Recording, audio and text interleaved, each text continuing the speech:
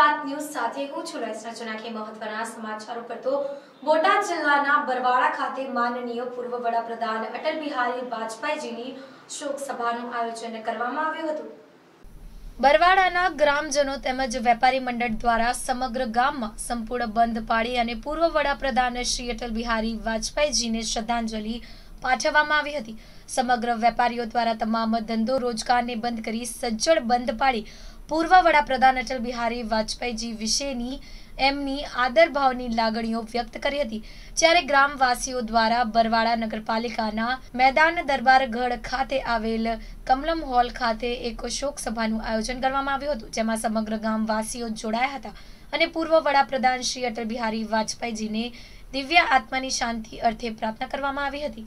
હરેશ પટકીર સાથે Vijaysinh Chudasama NS Gujarat news Botad. Halvad પંથકમાં મુશળધાર વરસાદ થતા એક ઇંચ જેટલો વરસાદ ખાબક્યો હતો. વરસાદના કારણે ખેડૂતો અને પશુપાલકો સારો વરસાદ વરસતા આશા બંધાઈ છે. જોકે વરસાદના કારણે હળવદ શહેરના નીચાણવાળા વિસ્તારમાં વરસાદ પાણી ભરાયા છે. હળવદ તાલુકામાં ચોમાસું સત્ર પછી બે માસ જેટલો સમય વીતી ગયો હોવા છતાં વરસાદ ઓછો પડતા ખેડૂતો અને પશુપાલકોની હાલત કફોડી બની હતી. ત્યારે ગુરુવારે રાત્રે આકાશમાં કાળા વાદળો ઘેરાયેલા હતા. ત્યારે શુક્રવારે વહેલી સવારથી જ ઝરમર વરસાદ વરસ્યો હતો. ત્યારબાદ સવારના દસથી અગિયાર વાગ્યા સુધીમાં મુશળધાર વરસાદ પડતા હળવદ પંથકમાં દોઢ ઇંચ જેટલો વરસાદ ખાબક્યો હતો. વરસાદના કારણે હળવદ તાલુકાના ખેડૂતોમાં આનંદ છવાયો હતો. હળવદમાં વરસાદ પડતા Dhangadhra, Darwaja Bazaar, Sara road, Shakti talkies road, bus station road, Divya park society Bhavaninagar ઢોરો વિસ્તારમાં railway station road, Kumbharpara, Kharivada, Gori Darwaja સહિતના નીચાણવાળા વિસ્તારોમાં વરસાદ પાણી ભરાયા હતા ત્યારે હળવદ તાલુકાના વેગળવાવ માનગઢ, અજીતગઢ, ઘનશ્યામગઢ, મિયાણી, ખોડ, જોગડ, માલણીયાદ રાણીકપર માણસર, ઘનશ્યામપુર, શક્તિનગર, સુસવાવ, ઢવાણા, કોચબા સહિતના ગામોમાં વરસાદ નોંધાયો છે. ત્યારે વરસાદના કારણે વીજ પુરવઠો બંધ થયો હતો. આમ હળવદ પંથકમાં એક કલાકમાં દોઢ ઇંચ જેટલો વરસાદ પડ્યો હતો. વરસાદના કારણે હળવદ શહેર અને ગ્રામ્ય વિસ્તારમાં ઠંડુકાર વાતાવરણ સર્જાયું હતું. મયુર રાવલ સાથે એનએસ ગુજરાત ન્યૂઝ હળવદ. અમદાવાદમાં ઘણા દિવસો પછી ફરીથી મેઘરાજાનું આગમન થયું છે. વાતાવરણમાં ઠંડક પ્રસરી ગઈ છે, પણ વરસાદની સાથે સાથે લોકો માટે મુશ્કેલીઓ પણ વધી ગઈ છે. મેઘરાજાની બીજી ઇનિંગમાં ખુશીની સાથે સાથે મુસીબતોની વરસાદ થઈ રહી છે. ત્યારે અમદાવાદના ઘણા વિસ્તારો ધોધમાર વરસાદને લીધે તળાવોમાં ફેરવાઈ ગયા છે અને રસ્તાઓના ખાડા ખાબોચિયાના લીધે શહેરી લોકોને ઘણી મુશ્કેલીનો સામનો કરવો પડી રહ્યો છે. ત્યારે વાત કરીએ તો નિકોલ વિસ્તારની જગ્યાએ જગ્યાએ પાણીના ભરાવ અને રસ્તાઓની નબળી હાલતના કારણે નિકોલ વિસ્તારમાં રહેતા લોકોને કાદવ કીચડમાંથી પસાર થવું પડી રહ્યું છે. ત્યારે નિકોલ વિસ્તારમાં આવેલી જાહેર પાર્કિંગ પ્લોટ પણ તળાવમાં ફેરવાઈ ગયું છે. જેના લીધે લોકો પોતાના વાહનો ક્યાં પાર્ક કરે એ એક બહુ મોટો પ્રશ્ન બની ગયો છે. લોકો દ્વારા પ્રશાસનને ઘણીવાર રજૂઆત કરવામાં આવી છે, છતાં પણ કોઈ કામગીરી હાથ ધરવામાં નથી આવી. વરસાદ જે કાંઈ સવારે પાંચ વાગ્યાનો જે ધીમી ધારે ચાલુ થયો, એને માટેનો આ વિસ્તારને અને અમદાવાદની પ્રજા બહુ આનંદમય છે. વાતાવરણમાં ઠંડક પસરી ખેડૂતને માટે ખૂબ ફાયદો થયો છે. આ વરસાદ જે કાંઈ થયો એ એકંદરે જુઓ તો કાસું સોનું જ પાકેલું છે. પણ સમસ્યા એટલી બધી વિકરાળ થઈ છે કે આજે એક દોઢ ઇંચ વરસાદની અંદર એક પણ વાહન નિકોલની અંદર આવી એવી પરિસ્થિતિ નથી. ગંદકી એટલી થઈ છે, ગાઉનો ત્રાસ એટલો છે. બાકી તો હજી કદાચ બેસારીસ વરસાદ જો વરસી જાય તો કોઈના ઘરની અંદર ઘર વખરી હાજી રહે એવી પરિસ્થિતિ અહીંયા નથી. અને આજ સુધીમાં તંત્ર એક આટો મારી જાય એવી ટીવી માધ્યમથી કહેવા માગું છું. धन्यवाद। ये आप देख रहे हैं ये गंगोत्री सर्कल है पूरा चौराया है यहाँ आवागमन का पूरा व्यवस्था है। पर ये बारिश के दिनों में आज पहली बार बारिश हुई है जितने में ये इतना हो गया है चार साल से कंटिन्यू ऐसे ही पानी भर रहा है यहाँ। तो इसका कोई कॉरपोरेशन वाले कोई भी इसको देख नहीं रहे चार साल से रोड ऐसे कैसे पड़ा है। तो बच्चों वगैरह को कितने जन स्कूटर मोटरसाइकिल पर गिरते हैं उसका कोई निदान नहीं हो रहा अभी तक। કેમેરામેન ગજરાજ સિંહ સાથે રેનુ પટેલ એનએસ ગુજરાત ન્યૂઝ અમદાવાદ. અમદાવાદ શાહીબાગ ખાતે આવેલ એનેક્સીમાં કરણી સેના દ્વારા પ્રેસ કોન્ફરન્સનું આયોજન કરવામાં આવ્યું હતું જેમાં મોટી સંખ્યામાં કરણી સેનાના લોકો જોડાયા હતા. અમદાવાદ શાહીબાગ ખાતે આવેલ એનેક્સીમાં કરણી સેના દ્વારા પ્રેસ કોન્ફરન્સનું આયોજન કરવામાં આવ્યું હતું જેમાં મોટી સંખ્યામાં કરણી સેનાના લોકો જોડાયા હતા. આ પ્રેસ કોન્ફરન્સમાં તેમણે જણાવ્યું હતું કે કરણી સેનાના સંગઠન દ્વારા કાશ્મીરના શ્રીનગરના લાલ ચોકમાં રાષ્ટ્રીય અધ્યક્ષ સુખદેવસિંહ ગોગામેડીની આગેવાની અને કરણી સેનાના પદાધિકારીઓના આગેવાનીમાં રાષ્ટ્રધ્વજ ફરકાવવામાં આવ્યો હતો અને એક શાંતિનો સંદેશ આપ્યો હતો આ કાર્યક્રમમાં મોટી સંખ્યામાં પોલીસ જવાનો હાજર રહ્યા હતા અને રાષ્ટ્રધ્વજને સલામી આપી હતી जय हिंद जय भारत सबसे पहले शुरुआत करूंगा उससे आज से एक साल पहले अलगाववादी नेता फारूक अब्दुल्ला मैं अलगाववादी ही कहूँगा यासिन मलिक और केंद्र के जितने भी नेता हैं ये पॉलिटिकल पार्टी से जो बिलोंग करते हैं नेता, वो सारे अलगाववादी हैं। उन्होंने चैलेंज किया था कि भारत देश का कोई भी लाल आके लाल चौक में झंडा फहरा के दिखा दे। उसी दिन सुखदेव सिंह गोगामेड़ी, जो हमारे राष्ट्रीय अध्यक्ष हैं, श्री राष्ट्रीय राष्ट्रीय कर्मी सेना के, उन्होंने चैलेंज स्वीकार किया था और 15 अगस्त को लाल चौक में झंडा फहराने के लिए एक रणनीति तैयार की गई।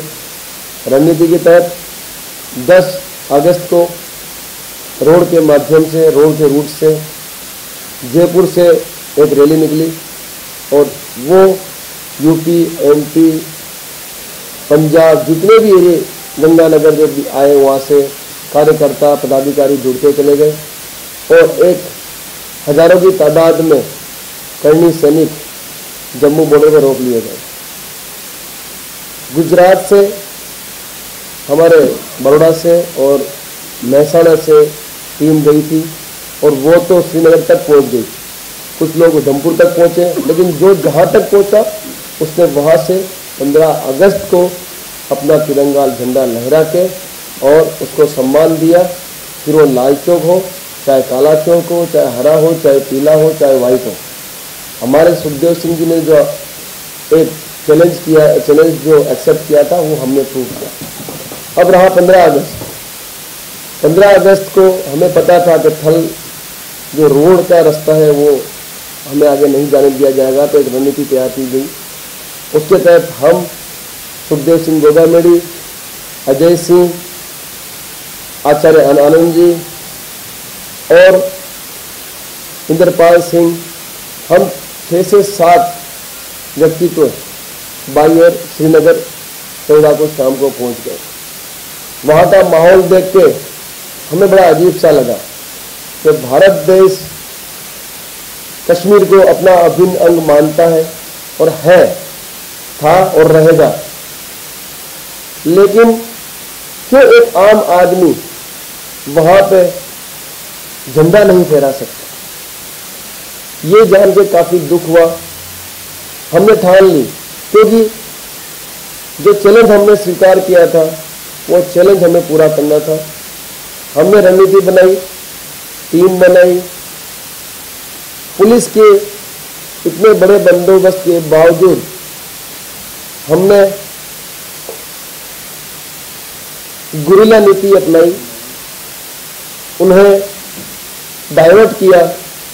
और सुखदेव सिंह जी की एक टीम हमने लाल चौक में झंडा के साथ ऑपरेशन में एक्टिव कर दी और देखते देखते सुखदेव सिंह जी ने जो चैलेंज एक्सेप्ट किया था, वो झंडा फहरा के और हमने सम्मान दिया। इस भारत देश के समस्त भारतवासियों को सम्मान दिया कि ये कश्मीर भारत का अभिन्न अंग है और यहाँ पे झंडा फहराने से हमें कोई नहीं रोक सकता।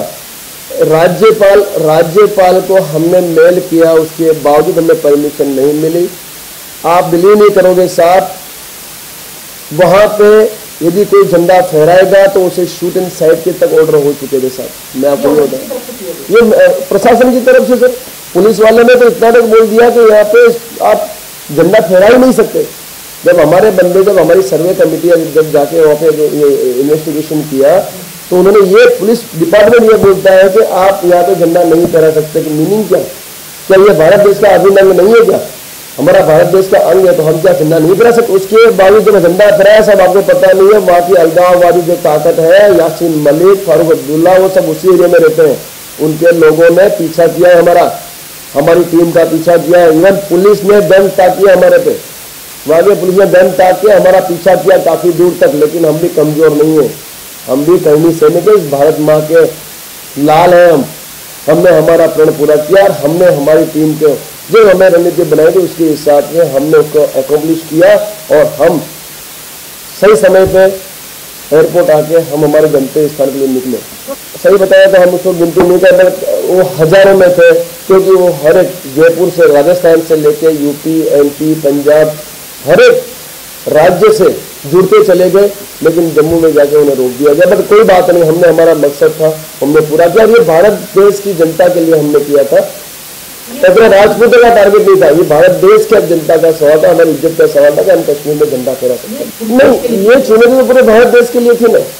लेकिन लेकिन इसे एक्सेप्ट किया क्षत्रिय समाज के योद्धा ने। सुखदेव सिंह गोगानी उनका नाम है। और उन्होंने उसको एकम्प्लिश भी किया। इतने बंदोबस्त के अंदर सर मैं आपको बताऊँ दस दस झंडे लेके हम लोग तैयार थे सब झंडे लेके जाके दिखावे वहाँ पे सर डीआईजी साहब ने बेड़ा नहीं फरका पाए आपको बताऊँ सर वहाँ पे सीआरपीएफ के डीआईजी लाल चौक में आए थे मेरे उपाध्यक्ष अजय सिंह जी खुद वहाँ अवेलेबल थे। साहब वो झंडा उन्होंने नहीं फरकाया उन्होंने ऐसे ही सलामी देके निकल गए। सब सोचने वाली बात है उस जगह आज- फरका थल सेना के एक डीआईजी लेवल का आदमी बिना झंडा फरकाए सल्यूट करके जा रहे हैं और उस जगह पे करनी सेना झंडा फहका रही है। मीन्स करनी सेना जो बोलती है वो करती है और जो भी करते हैं राष्ट्र और समाज निर्माण के लिए करते हैं। हम ऐसा कुछ भी नहीं करना चाहते जिससे राष्ट्र और समाज निर्माण को खतरा पैदा हो। लेकिन कश्मीर तो हमारा अभिनंग है। आज आम आदमी को वहाँ झंडा फहराने की परमिशन क्यों नहीं है? लाल चौक क्या किसी अलगाववादी की कोई कोई विभूति है क्या? वहाँ उनकी कोई, वो संपत्ति है क्या खुद की? लाल चौक वो जगह है जहाँ पे हर एक भारतीय को पावर होना चाहिए कि वो जाके वहाँ झंडा फरका सके। लेकिन सरकार भी, सरकार पे भी काबू में लोग नहीं है। तो ऐसे अलगाववादी नेताओं का इलाज सरकार क्यों नहीं कर रही? हम जानना चाहते हैं माननीय मोदी जी से। सर, कश्मीर का जो कल का माहौल मैंने देखा है, सर, सरकार जब तक दमन नीति नहीं अपनाएगी, वहाँ पे कोई धारा को चेंज नहीं कर पाएगी, ये मैं आपको बता दूँ। मैं फौजी हूँ साहब, आठ साल कश्मीर में एंटी मिलिटेंसी ऑपरेशन करके आया हूँ। पंद्रह अगस्त हो, चाहे छब्बीस जनवरी हो, वो लोग भारत का झंडा नहीं फहराने देते साहब। काले झंडे लेके निकलते थे, लेकिन हमारी ताकत से हम उनको दबाते थे। ठीक है साहब? लेकिन सरकार को सरकार को दमन नीति अपनानी पड़ेगी। यदि तीन सौ सत्तर और दो पैंतीस धारा पैंतीस जो भी आप बोल रहे हैं, उनको यदि इंप्लीमेंट करना है तो उनको दमन नीति अपनानी पड़ेगी। अन्यथा कश्मीर एक ऐसा भाग है जो कभी भी वन नेशन, वन कानून को इम्प्लीमेंट नहीं होने देगा। उसके लिए हमें सरकार को कड़ी नीतियाँ बनानी होगी। और ये जो भी इन इन चार सालों में, बीजेपी के समर्थन के बाद जो भी हुआ, वो बहुत शर्मनाक था। बहुत सही समय में बीजेपी ने उनका साथ छोड़ा। अगर ये नहीं छोड़ते तो उसको उसका खामियाजा बीजेपी को भुगतना पड़ता। और आप देखिए, आप पंद्रह अगस्त को यदि आप वहाँ पे कर्फ्यू लगा के रखते हो, वहाँ पे किसी आदमी को बाहर नहीं निकलने नहीं देते हो, इतना तानाशाही। उससे अगर सोचो आप गली गली में, वहाँ के अलगाववादी नेताओं के जो चमचे हैं, वो खड़े हैं जो भी कोई झंडा फहरा निकलता है, उसको मारो। सर जान से मारने तक की और बातें चल रही जिसे मैं आपको क्या बोलूँ क्या भारत हमारा भाग नहीं है सर। चौदह तारीख को हमारे कार्यकर्ता ठीक है। हाँ चौदह तारीख को एक हमारा जो एक हमारा कार्यकर्ता था करणी सेना का वो हमारे से पहले पहुँच गया था उसे झंडा ले रहा है उसको सर आम जनता ने मारा है वहाँ पे सर। पुलिस उधर पुलिस उठा के उसको लगी सीआरपी में कैंपस में उसको ले लिया। अन्यथा उसको जान से मार डालते लोग। तो क्या हम हमारा भारत देश के अंदर हमारा झंडा नहीं करा सकते क्या? सिर्फ़ पावर ही नहीं है, वहाँ पे जेल के पुलिस सारे पावर रहे थे। सीआरपी को पावर नहीं है। बीएसएफ जब तक थी बीएसएफ में मैं खुद रहा होता पावर हाथ में रखे हम कभी किसी, हमने कभी भी किसी जेल के पुलिस या उसके दबाव में कभी हमने काम नहीं किया। ठीक है सर? लेकिन जब से सीआरपीएफ ने वहाँ पे चार्ज लिया है, मैंने नोटिस किया है, सब सीआरपीएफ बिल्कुल उस हिसाब से काम नहीं कर पाए जिस हिसाब से उनको करना चाहिए। क्योंकि सीआरपीएफ के जवानों को पत्थर भी मारे गए, उनको पत्थर मार के उन्हें भगाया भी गया इतर पत्थरबाजी भी इतनी सारी हुई तो उसको क्यों नहीं रोका गया? क्योंकि शायद प्रशासन या सरकार इतनी मज़बूत अपने आप को नहीं मानने की इन चीज़ों को रोक पाए। अभी अभी मुझे पता चला है कि माननीय अटल बिहारी वाजपेयी जी का स्वर्गवास हो गया है। जहाँ तक मैं और ये भारतवासी उनके व्यक्तित्व के बारे में जानते हैं। बहुत उम्दा व्यक्तित्व के नेता थे और बहुत बड़ी क्षति है इस भारत देश को। इतने महान और बड़े नेता को हमने आज खो दिया है। श्री राष्ट्रीय राजपूत करणी सेना और पूरे भारतवासी आज माननीय अटल बिहारी वाजपेयी जी को श्रद्धांजलि अर्पण करते हैं भगवान उनकी आत्मा को शांति दे जय हिंद जय भारत કેમેરામેન કેયુર સાથે હાર્દિક રાવલ એનએસ ગુજરાત ન્યૂઝ અમદાવાદ અમદાવાદના છારાનગર વિસ્તારમાં પોલીસે મળેલ બાતમીના આધારે બુટલેગરોના ઘરે રેડ કરતા સંગીતા ઉર્ફે સંગો પરમાર નામના આરોપી મહિલાની અટકાયત કરી આગળની તપાસ હાથ ધરી હતી અમદાવાદના છારાનગર વિસ્તારમાં પોલીસે મળેલ બાતમીના આધારે બુટલેગરોના ઘેર રેડ કરતા સંગીતા ઉર્ફ સંગો પરમાર નામની આરોપી મહિલાની અટકાયત કરી આગળની તપાસ હાથ ધરી હતી. જો કે મહિલા પોલીસ કર્મચારીઓને જોતા આરોપી મહિલાએ ગાળો દેવાનું શરૂ કર્યું હતું. તેમજ આરોપી મહિલા અને મહિલા પોલીસ કર્મચારીઓ વચ્ચે ઝપાઝપી થઈ હતી. પોલીસે પ્રોહિબિશન એક્ટ મુજબનો ગુનો નોંધી આગળની તપાસ હાથ ધરી છે. આજે પ્રોહી બુટલેગર છે. સંગીતા ઉર્ફે સંગો જેને આજે પકડવામાં આવ્યું છે. બે ત્રણ દિવસ પહેલાં પણ બાતમી આધારે ત્યાં પોલીસ કેસ કરવા ગઈ હતી. જે દિવસે એ અડચણ એને અડચણ કરી હતી પોલીસને અને એ દિવસે જ એના વિરુદ્ધમાં ફર્સ્ટ પાર્ટનો ગુનો દાખલ કરવામાં આવ્યો હતો તથા બીજા પ્રોહિબિશનના કેસમાં પણ એ વોન્ટેડ હતી જ. જેના માટે આજ જ તારીખ સોળ આઠના દિવસે બાતમી મળતા કે ભાઈ એ પોતે પોતાના ઘરે હાજર છે. ડિસ્ટાફના પીએસઆઈ એમ એમ ઠાકોર સાહેબ તથા બીજા સ્ટાફના માણસો તથા જરૂરી મહિલા સ્ટાફને પણ લઈને એના ઘરે ગયા હતા. એની એને પકડવા માટે. તો જ્યારે ઘરે ગયા ત્યારે આ પોલીસને જોઈને બોલાચાલી ગંદી ગંદી ગાળો બોલવા લાગી. જેથી કરીને અમારી મહિલા કર્મચારીએ જરૂરી બળ ઉપ- અ, બળ પ્રયોગ અ, વાપરીને એને અટક કરી છે. બીજું કોઈ નથી. જે આક્ષેપો કરે છે કે ભાઈ જેમ્સ પોલીસે મને માર માર્યું છે એવું કશું જ નથી. જે તે વખતે પ્રાપ્ત થયું હતું આજની તારીખમાં જે છે લાઠીઓ મોટી મોટી બાંસની એ બધી ત્યાંથી રિકવર કરવામાં આવ્યું છે. કેમેરામેન કેયુડ સાથે હાર્દિક રાવલ એનએસ ગુજરાત ન્યૂઝ. બુલેટિનમાં હાલ સમય થયો છે બ્રેકનો. લઈએ બ્રેક क्या आप अपने रोज़मर्रा खर्चों से कमाई करना चाहते हैं? मोबाइल या डीटीएच रिचार्ज बिल पेमेंट या आपका मनचाहा काम शॉपिंग ट्रैवलिंग या मनी ट्रांसफ़र जी हाँ आप भी अपना डिजिटल बिज़नेस शुरू कर सकते हैं। बनिए हमारे डिजिटल पार्टनर और हमारी ऑनलाइन ट्रेनिंग के माध्यम से अपने ऑनलाइन समय का सदुपयोग करके लाखों कमाना शुरू करें। अपने और अपने परिवार के सपनों को पूरा करें। अधिक जानकारी के लिए लॉग इन करें डायरेक्ट बाज़ार डॉट को डॉट इन पर और एक सफल बिज़नेस की शुरुआत करें। अधिक जानकारी के लिए लॉग इन करें डायरेक्ट बाज़ार डॉट को डॉट इन पर और एक सफल बिज़नेस की शुरुआत करें। बरसात गर्मी के हॉय पची ठंडी, बारह मास साथा पे गोकुल गरगंटी। गुणवत्ता मास श्रेष्ठ શ્રેષ્ઠ ગરગરમાં છે સૌથી બેસ્ટ મેળવો સ્વચ્છ અને પૌષ્ટિક લોટ. નહીં રહે બીજી કોઈ ખોટ. ઉપયોગમાં સરળ અને સફાઈ થાય ચૂટકીમાં. ગરગરની ગૃહિણીની એક જ પસંદ. ગોકુલ ઘરઘંટી. મહાશક્તિ એસ્ટેટ, વિભાગ બે LB Shastri road, Bapunagar, Ahmedabad. Mobile number નવ આઠ બે ચાર એક છ સાત આઠ સાત નવ. મોબાઈલ નંબર આઠ ત્રણ ચાર સાત પાંચ નવ છ ત્રણ ત્રણ આઠ. નવલી નવરાત્રી કોને ના ગમે? નવરાત્રીને લઈને બધા જ ખૂબ જ એક્સાઇટેડ હોય છે, પરંતુ બધાને કન્ફ્યુઝન પણ હશે. નવા નવા સ્ટેપ્સ આવી રહ્યા છે, નવરાત્રીમાં શું થશે, શું નહીં? મને ગરબા આવડશે કે નહીં? બસ, આપના જ આ કન્ફ્યુઝનને દૂર કરવા નવા સ્ટેપ્સ લઈને આવી રહ્યું છે મોજીલા ગરબા ક્લાસીસ જે આપના માટે નવલી નવરાત્રીને વધારે સુંદર બનાવશે. તો ચોવીસ જૂનથી શરૂ થઈ રહી છે મોજીલાઓની મોજ. તો મોજીલાઓની મોજ માણવા આજે જ સંપર્ક કરો. મોબાઈલ નંબર સત્તાણું ત્રેવીસ તેતાળીસ ચાળીસ નેવું. સરનામું Jayvardhan banquet hall. Uday green party plot Jansewa Kendra પાસે ન્યુનિકોલ અમદાવાદ. રાશિઓનું જીવનમાં શું છે મહત્વ? ગ્રહોની દશા જીવન પર શું કરે છે અસર? બદલાતા ગ્રહોની અસર પર કરીએ એક નજર. હું છું શાસ્ત્રી તુષારભાઈ જોશી જોડાયેલા રહો. એનએસ ગુજરાત ન્યૂઝ સાથે આપની રાશિ આપનું ભવિષ્ય. Uday green party plot Naroda પૂર્વ વિસ્તારમાં સૌથી મોટો સુવ્યવસ્થિત આધુનિક પાર્ટી પ્લોટ અને બેન્ક્વેટ હોલ. જેમાં પ્રવેશતા જ કુદરતના પ્રાકૃતિક સૌંદર્યની ઝાંખી થાય છે, જેનું નિર્માણ કુદરતી વાતાવરણને અનુલક્ષીને કરવામાં આવ્યું છે.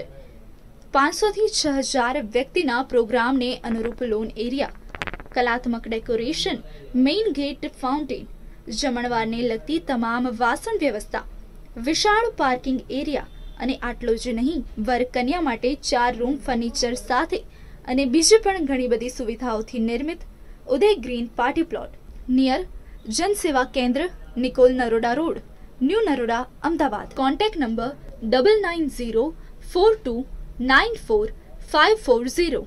Managed by Akshve Event, converting dream into reality.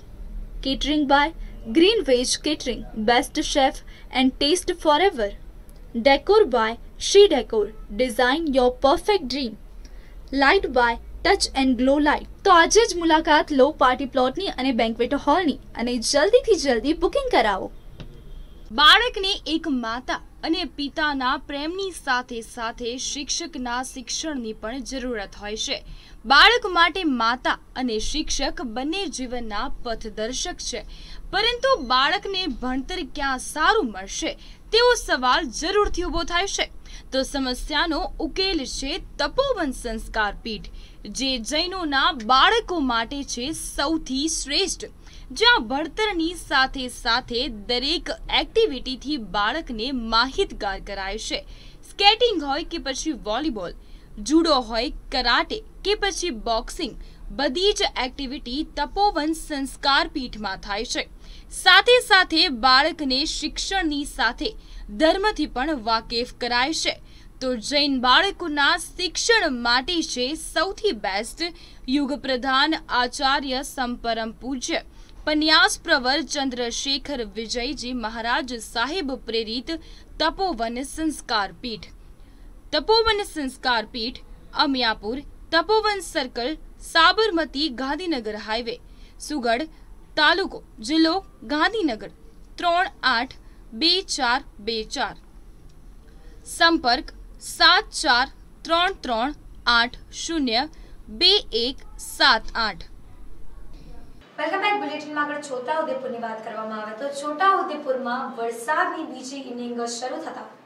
Orsang નદીએ રૌદ્ર સ્વરૂપ ધારણ કર્યું હતું. સતત વરસાદના કારણે તેમજ આ ઓરસંગ નદી મધ્ય પ્રદેશથી નીકળતી હોવાથી ત્યાં ઉપરવાસમાં સતત વરસાદ વરસવાના કારણે નદીમાં પાણીની આવક વધતા ગોળાપુર જેવી પરિસ્થિતિ સર્જાઈ હતી.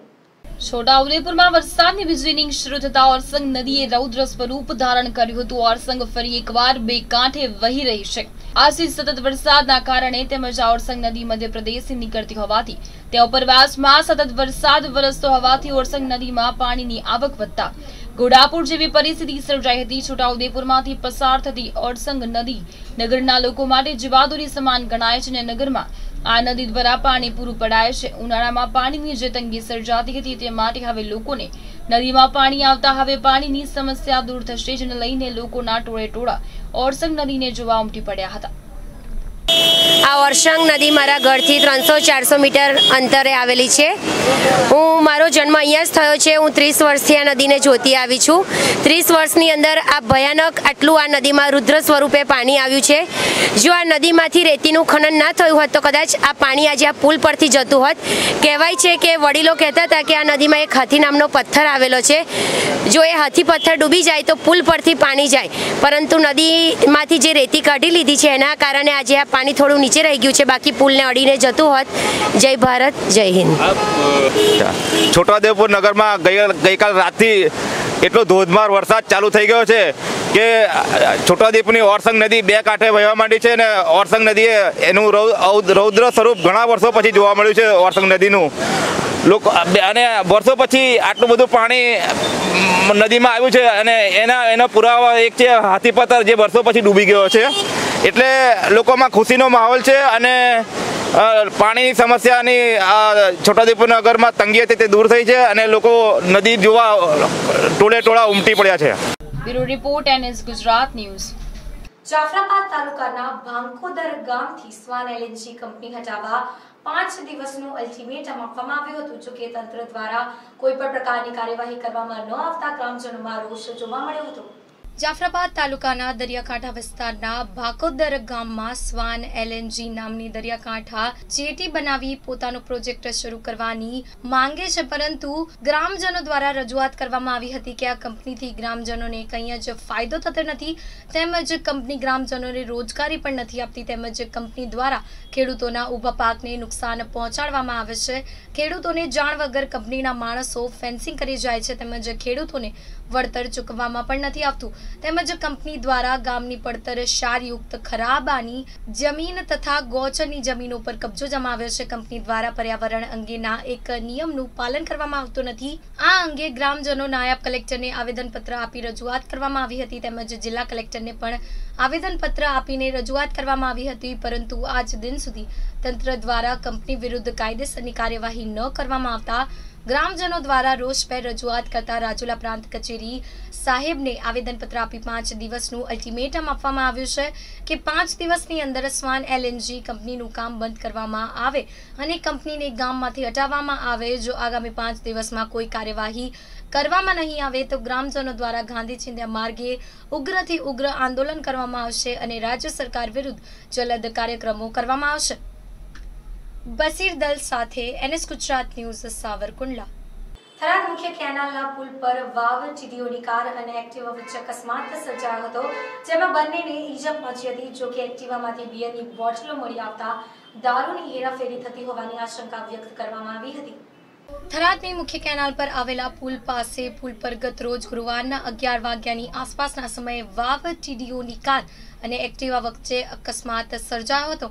ત્યારે એક્ટિવા ચાલક અને ટીડીઓને ઈજાઓ થવા પામી હતી, જો કે એક્ટિવામાંથી બિયરની બોટલો મળી આવતા એક્ટિવા ચાલક દારૂની હેરાફરી કરતો હોવાની આશંકા સેવાઈ રહી છે, ત્યારે બનાવના પગલે પોલીસ સહિત લોકોના ટોળે ટોળા જામ્યા હતા.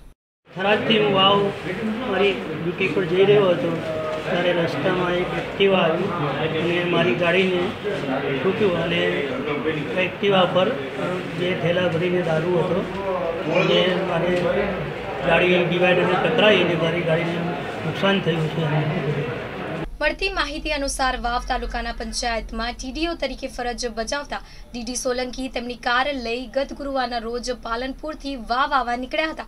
ત્યારે થરાદની મુખ્ય કેનાલ પરના પુલ પાસે તેમની કાર અને એક્ટિવા ચાલક વચ્ચે અકસ્માત સર્જાતા બંનેને ઈજાઓ થતા એક્ટિવા ચાલકને સરકારી હોસ્પિટલમાં સારવાર અર્થે ખસેડાયો હતો અને ટીડીઓને પ્રાઇવેટ હોસ્પિટલમાં સારવાર અર્થે ખસેડાયા હતા, જો કે સર્જાયેલા અકસ્માત એક્ટિવામાંથી બિયરની બોટલો રોડ પર પડેલી નજરે આવી હતી, તેમજ એક્ટિવા બિયરની બોટલો મળી આવતા એક્ટિવા ચાલક દારૂની હેરાફેરી કરતો હોવાની આશંકા પ્રબળ બની હતી.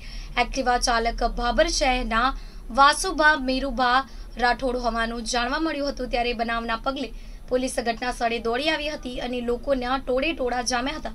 એક્ટિવામાંથી ફંગડાઈ બિયરની બોટલ લોકોએ લૂંટ કરી હોવાનું પણ ચર્ચાસ્પદ બન્યું હતું. યશપાલસિંહ વાઘેલા સાથે એનએસ ગુજરાત ન્યૂઝ થરાદ.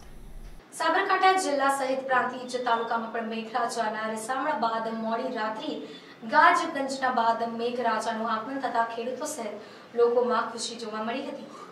ચોમાસાની શરૂઆતથી ઉત્તર ગુજરાતમાં મેઘરાજાએ રેસામણા લીધા હતા. તો સિઝનનું માત્ર માંડ માંડ ચારથી ત્રણ ઇંચ વરસાદ પડ્યો હતો. તો ચોમાસું, કોરું તથા દુષ્કાળના ડાકલા વાગ્યા હતા. તો લાંબા વિરામ બાદ સાબરકાંઠા જિલ્લા સહિત તાલુકામાં મોડી રાત્રિએથી ગાજગંજના વીજ કડાકા સાથે મેઘરાજાની અસીમ કૃપા જોવા મળી હતી. તો મોડી રાતથી જ આકાશમાં કાળા વાદળો ધસી આવ્યા હતા.